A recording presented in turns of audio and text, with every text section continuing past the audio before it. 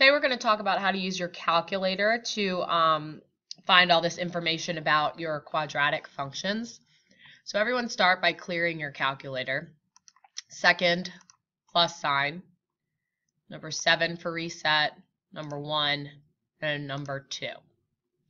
Once your calculator is cleared, we're going to go ahead and put the quadratic equation into y equals. So press the y equals button and go ahead and type in the first equation, for example, 1 on your worksheet.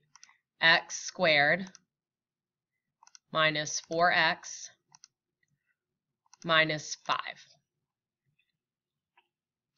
Now to graph, let's go ahead and start with zoom.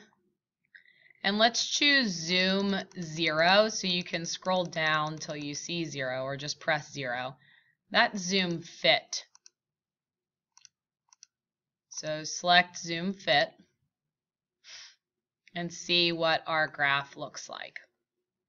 You always want to make sure that you can clearly see the vertex of the graph. So since that vertex is, you know, I can't quite see the whole thing, let's go to our window and I want to change my y, excuse me, my y values to extend a little bit lower so I can see that vertex a little bit better.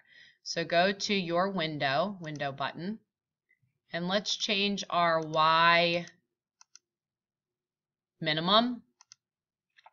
Let's maybe change it to negative 15. Now press graph and see what we have. So that's better because I can definitely see the vertex of this graph. So the domain is the first thing we have to fill in on your worksheet.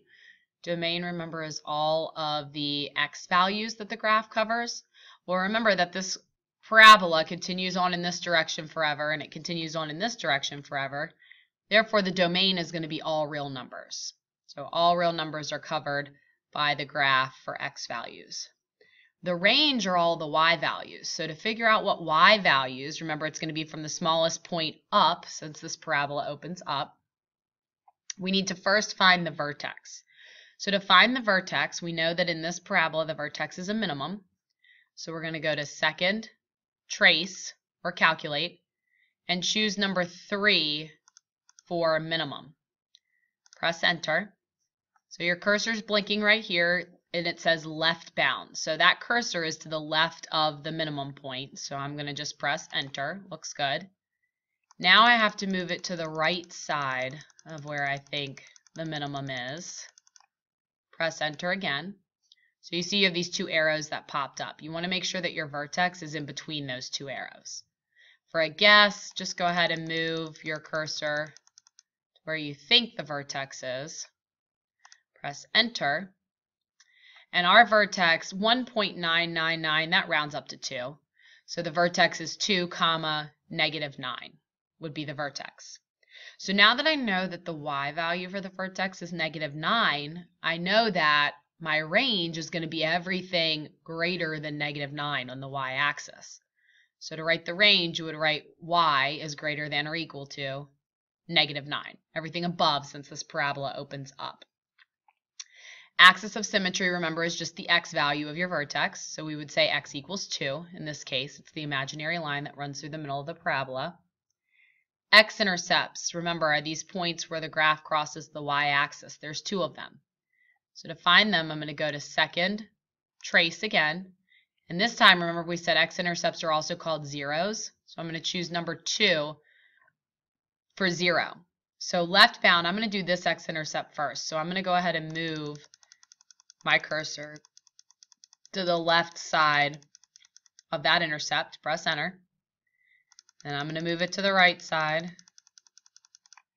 Press enter. So your two arrows show up again and your Intercept should be between those two arrows.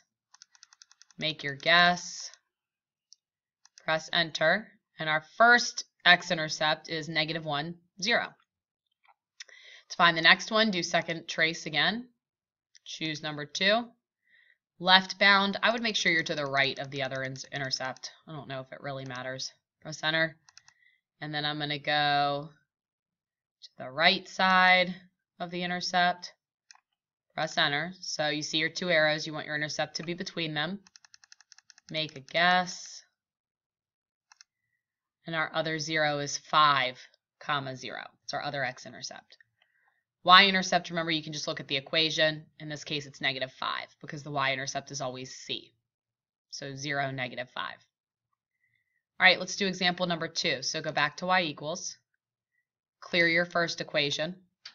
Let's put in the next equation, x squared plus 2x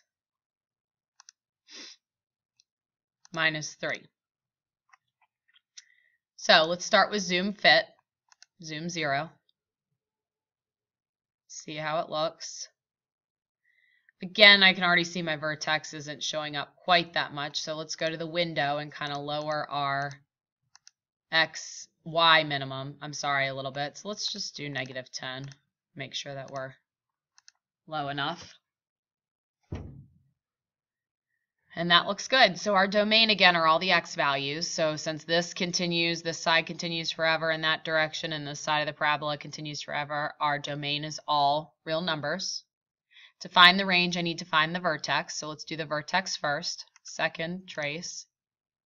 It's a minimum, again, this vertex, because it was opening up.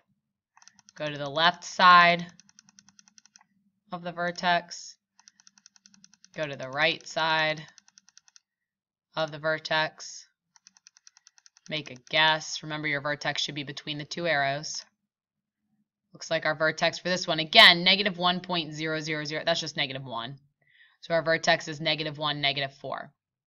So now we can say our range, all the y values, are going to be everything from negative 4 on the y-axis higher. So y is greater than or equal to negative 4. Our axis of symmetry, remember, is always the x value, so negative 1 x-intercepts, second trace, we want the zeros, so choose number two.